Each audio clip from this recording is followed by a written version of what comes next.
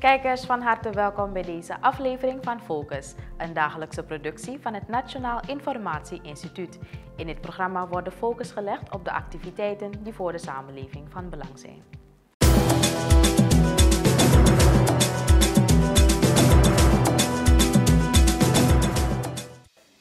Vandaag in Focus. President Desiree Bouterse brengt zijn nieuwjaarsboodschap over aan de totale Surinaamse samenleving. De regering van de Republiek Suriname gaat tijdens een persconferentie in op de overname van de Afobakadam. En president Bouterse staat informatiesessies in zaken Afobakadam.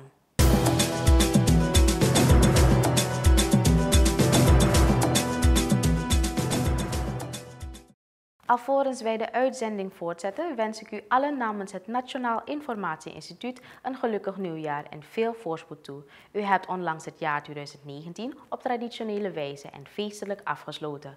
Voor sommigen was de jaarwisseling misschien iets wat somber.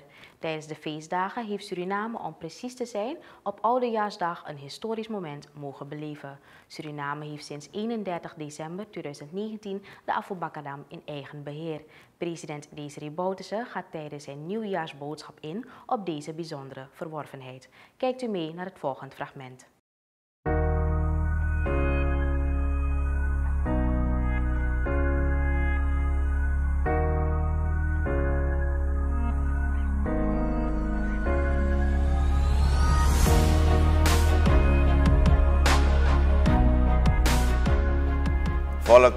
Suriname.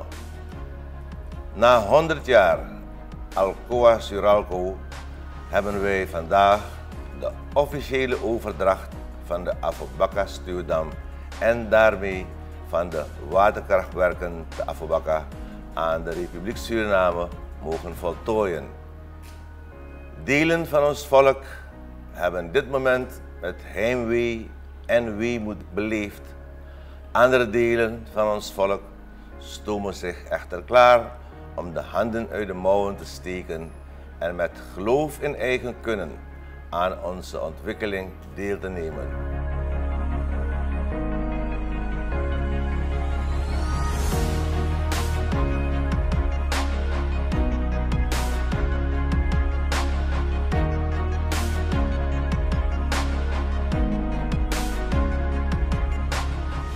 Ook hier hebben wij van het oude afscheid genomen en hebben wij het nieuwe in de startblokken gezet. Suriname, gefeliciteerd.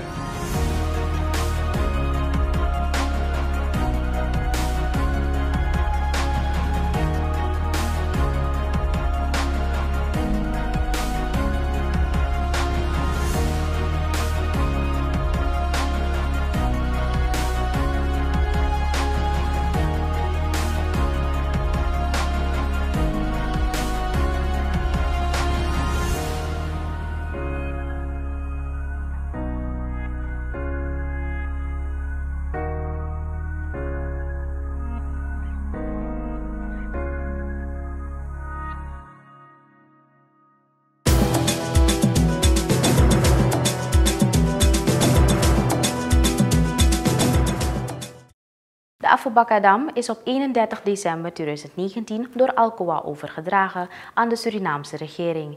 Deze formaliteit heeft plaatsgevonden nadat de regering de laatste openstaande stroomrekening bij Alcoa heeft betaald. De Surinaamse overheid heeft op haar beurt de dam overgedragen aan staatsolie. Kijkt u mee naar het verslag van de afwikkeling rondom de overname van de stuwdam. Perfect. And then can I just confirm really quick with you that you are ready to release your signature page on this? Yes, I'm ready to release my signature page. Excellentie, we zijn klaar. De dam is van ons. Na vijf jaar, minister. vijf jaar. Broer, thank you. Great job.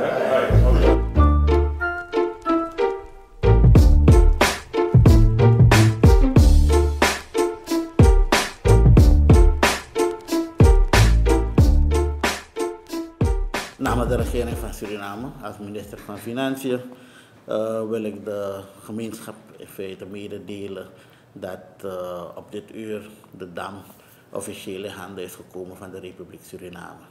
Er is een traject van vijf jaar aan vooraf gegaan. vanaf het uh, bespreken van het vertrek van Suralco tot overgave van de dam. En de strijder van het eerste uur, in dit geval de heer Dilip Sarju, uh, mijn persoon, de heer Mark Waldijk. Uh, voor ons is dat natuurlijk een hele opluchting. Aangevoegd mevrouw Alibas, die als lawyer ook op uh, praktisch alle meetings aanwezig was. Mijn dank gaat ook uit naar onze collega, uh, de heer Sergio Kimbuto, die een fantastische job heeft gedaan in DNA om deze zaak voor elkaar te krijgen. Vandaag heeft in feite uh, met een telefooncall uh, waarin wij bevestigen dat de fondsen die wij hebben vergaard kunnen overgaan naar de bankrekening van Alcoa. En Alcoa op hetzelfde moment alle documenten die de dam ons eigen maken aan ons overhandigt. Dus op dit moment met deze telefooncall via een trust company heeft er een simultane uitwisseling plaatsgevonden. Van de fondsen aan de ene kant tegenover het geld van de andere kant. We zitten ook hier met de CEO van uh, Suralco, de heer Hallevuit, die ook in dit hele proces vanaf 2014 ook betrokken is geweest. Dus voor ons, uh, we gaan, het is een heugelijk moment. We hebben de president gelijk na het beëindigen van de call geïnformeerd. Hij is heel erg blij.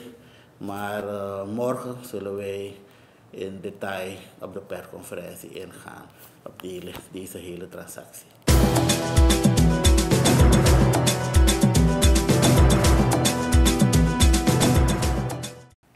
De Surinaamse regering is tijdens een persconferentie ingegaan op de overname van de Afobakadam. Aan de leiding van de persconferentie, welke werd belegd op 1 januari 2020, stond vicepresident Ashwin Adin, die president Desiree Bouderse vertegenwoordigde. De vicepresident stelde de samenleving gerust dat de stroomtarieven niet omhoog zullen gaan. Het is zo dat inderdaad in onze geschiedenis als soeverein land wij de zekerheden en de zelfstandigheid beogen die elk land voor zichzelf zou willen. In die zin mogen we de regering Bouterse 1 en 2 zeker meegeven dat van sociale zekerheid naar soevereine planning die nu op alle ministeries plaatsvindt, naar voedselzekerheid, wat wij ook zien, op gang zien komen nu. Rechtszekerheid waar we de checks en balances in plaats willen brengen. En telecommunicatie met het broadband-netwerk dat we onlangs gezien hebben, nu ook één stap, één historische stap maken richting energiezekerheid, waar wij onze eigen energie in handen hebben. Dat is in de soevereine gedachte geen enkele elementen waar wij bijzonder trots op mogen zijn en verworvenheden van regering Bouterse 1 en 2 mogen aanmerken. Dit historisch moment moeten wij koesteren, omdat het één in de zoveel is, maar wij die invulling voor die soevereiniteit nu in een volwassen, zeker in een volwassen sfeer kunnen brengen. Ik mag u informeren dat de president dit moment ook zal delen met andere maatschappelijke groeperingen, waar hij morgen start op het paleis met allereerst de politieke partijen in onze Nationale Assemblée. Om met hen dit moment te delen en te informeren over de status quo.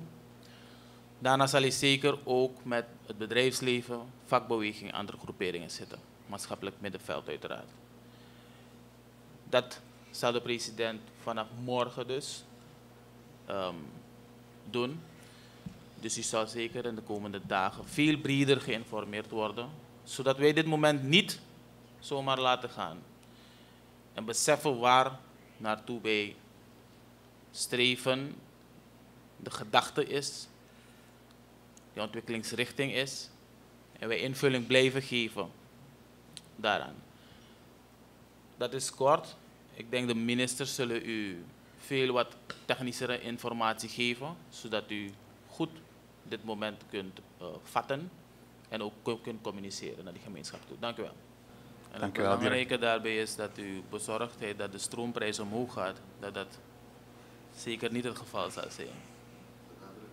Ja, dus niet dat de stroomprijs omhoog gaat natuurlijk. Ik denk dat de strekking die daar naartoe ging, maar daar hoeven we geen zorgen te maken. Van mij kan de beste wensen voor 2019, 2020. Uh, de vraag, uh, de economische waarde van de dam is een dam, is al 60 jaar daar.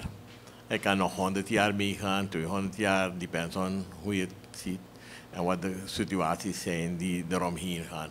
We verdienen elk jaar, dus het is heel moeilijk om de waarde van de dam in te schatten. Het is niet als een auto die je zegt, hey, na 20 jaar kan je hem weggooien, want hij is 2 cent waard.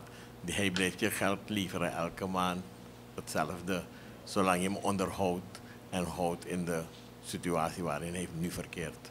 Uh, het is natuurlijk een heel mooi moment voor Suriname geweest uh, dat we de dam hebben overgenomen. Staatsolie is al een hele tijd bezig. Niet alleen met de dam, maar we zijn natuurlijk ook bezig met uh, te kijken hoe we de dam zouden kunnen optimaliseren. Staatsolie heeft in principe heeft Suriname de dam overgenomen met alles wat, wat erbij hoort. En staatsolie heeft één minuut later heeft, in principe alle assets weer overgenomen van de staat. Dus wij hebben nu de volle verantwoordelijkheid om ervoor te zorgen dat we onze maintenanceplannen en alles dusdanig uitvoeren, samen natuurlijk met de mensen, die hebben we ook overgenomen. En niet alleen met de mensen en de maintenancecontracten en alles, maar er was natuurlijk een heleboel hing daaraan vast. We zijn er ongeveer zes maanden geleden mee begonnen, om ervoor te zorgen dat we stap voor stap samen met Alcoa door alle documenten heen liepen, door al hun leveranciers, en door alle mensen die daar uh, betrokken waren, ook uh, in Amerika en in de rest van de wereld, dat die mensen ons ook leerden kennen, dat die wisten dat wij de dam zouden overnemen. Dat hebben we allemaal hebben we dat afgerond, uh, tot en met het laatste moment. We hebben nu zelf een, een overeenkomst met Alcoa dat mocht er iets zijn, dat als we iets nog niet helemaal weten, of als we nog een vraag hebben, dat we een vraagbaak hebben bij Alcoa zelf en dat we dat kunnen doen in principe hebben wij dus nu de dam overgenomen. De, wij leveren nu de, de, de, elektriciteit aan, aan het net, aan de EBS. En we gaan er gewoon voor zorgen dat we de dam, die in de afgelopen uh, jaren natuurlijk uh, ontzettend goed ook onderhouden is door Alcoa, dat we dat gewoon op dezelfde manier door blijven doen. Staatsolie heeft natuurlijk alle processen en alle procedures om dat te kunnen. We hebben zelf ook onze eigen raffinaderij. Dus onze eigen raffinaderij is ook gebaseerd op een hoop van de, van de methodes die Alcoa zelf ook had. Dus ik maak me daar uh, helemaal geen zorgen over. Wat we zelf ook nu aan het doen zijn, is wat we zeggen, is we moeten nu kijken hoe kunnen we de dam optimaliseren. En dat gaan we in de komende, gaan we in de komende jaren doen om te kijken hoe kunnen we nu meer energie halen uit de dam. Want dat is natuurlijk Hydro blijft natuurlijk een prachtige vorm van energieopwekking en een hele goedkope manier van energieopwekking. En het is goed dat het Surinaamse volk daar nu ook zelf van gaat kunnen genieten. Ja, als ik het goed heb, moet het gaan om, dan kijk naar de commissie, om negental overeenkomsten of zeven? Negen toch? Ja. Oké. Maar in ieder geval gaat het erom de documenten die zijn besproken in het parlement, waar de discussie over hadden gehad. Um, die documenten zijn ondertekend, de overdrachtdocumenten, de afspraken die zijn gemaakt over milieu, um, afspraken die zijn gemaakt over hoe de transfer moet plaatsvinden.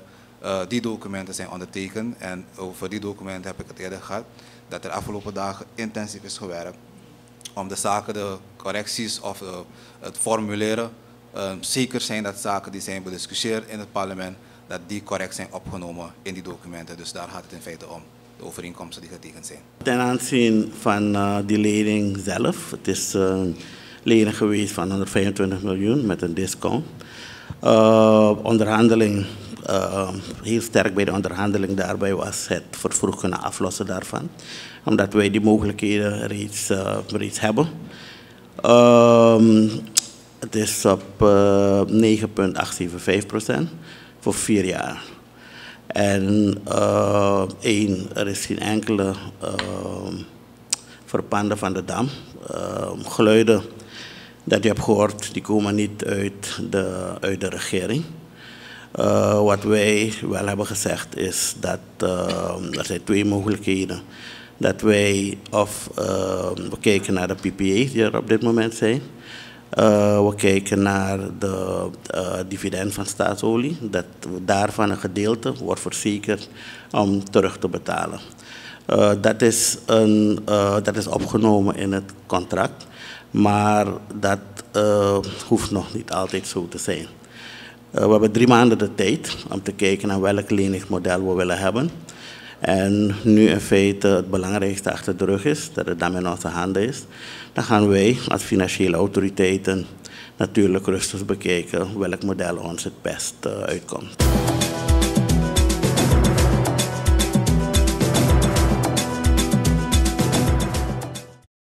President Desiree Delano Bouterse is zijn informatiesessies met politieke partijen in zaken de overname van de Afubaka Stuwdam gestart. Het staatshoofd ontving op donderdag 2 januari op het presidentieel paleis allereerst de politieke partijen, waarbij de vooruitstrevende hervormingspartij, VHP, de spits afbeet. Minister Sergio Akimboto van Natuurlijke Hulpbronnen geeft aan hoe het verloop van de gesprekken is geweest. De bedoeling van de gesprekken is om... Uh de, eigenlijk de maatschappelijke groepen, um, zeg maar maatschappelijk middenveld te informeren over het natraject en de discussie welke nog moeten volgen over uh, nadat de dam in eigen beheer is. We zijn begonnen met de politieke partijen.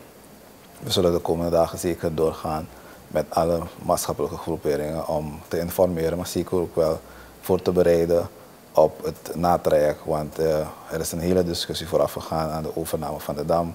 Breed in het parlement, daarbuiten. Iedereen heeft iets te zeggen gehad erover. En uiteindelijk, als het een feit is, moeten we natuurlijk vanuit dit moment kijken hoe wij verder zullen gaan. Omdat het toch wel een, een groter nationaal belang dient. En hoe zit het natraject eruit? Uh, de sfeer tijdens gesprekken met de politieke organisatie was uh, positief. Um, het was zeer constructief. De bijdrage, de vragen die werden gesteld door de verschillende partijen vanmorgen, die was um, zeer goed te noemen. In principe um, was de houding iets van, we zijn op het punt beland dat het een feit is dat we die dam hebben overgenomen. Hoe kunnen we hier maximaal voordelen uithalen? En dat is positief te noemen van alle partijen die we vanmorgen hebben ontvangen. En um, ze hebben toegezegd dat ze de ondersteuning willen geven in het belang van Suriname. Uh, natrek houdt in dat nadat we de consultatie dan hebben gehouden, dat we sowieso um, de relevante zaken gaan meenemen voor de vervolgdiscussies. Uh, uh, wat van belang is, is dat daar de dam nu in Surinaamse handen is, dat wij uh, de hele energiesector um, gaan moeten gaan evalueren. In principe trek is daar ingezet. Ondertussen hebben we onze energieautoriteit Suriname wetgeving is afgekondigd. Dus op basis daarvan zullen we even nagaan um, hoe passen we allemaal in het beleid. Uh, de energiesector is um, heel erg belangrijk voor de ontwikkeling van het land. Uh, naast het, uh, het menselijk kapitaal, menselijk hulpbron waarin je investeert, is de energiesector heel erg belangrijk. ter illustratie wil je de gezondheidszorg verder ontwikkelen, waarbij je ziekenhuizen hebt, laboratorium, um, topkwaliteit medische apparatuur. Heb je energie voor nodig. Wil die onderwijspoot uh, gaan ontwikkelen, waarbij je scholen wil hebben, goede kwaliteit internet, um, high-tech um, faciliteiten, heb je energie voor nodig. Wil je de productiesector gaan ontwikkelen, uh, fabrieken opzetten, raffinaderijen opzetten, je hebt energie voor nodig. En het is heel erg belangrijk om uh, onafhankelijk te zijn in je energiesector. Uh, als land is dat cruciaal voor de ontwikkeling. Al de, de, de middelen die wij de afgelopen jaren hebben betaald, die zullen in het land blijven, omdat het een, een eigen beheer is.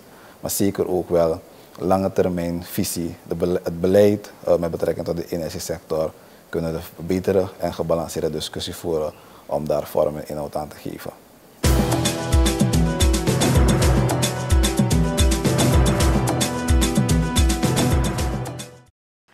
Wij feliciteren tot slot iedere Surinamer met het in eigen boezem brengen van de Afobakadam en spreken de hoop uit dat iedere burger zich uitermate zal inzetten om ook in 2020 onze potentie als natie op elk mogelijke vlak optimaal te benutten.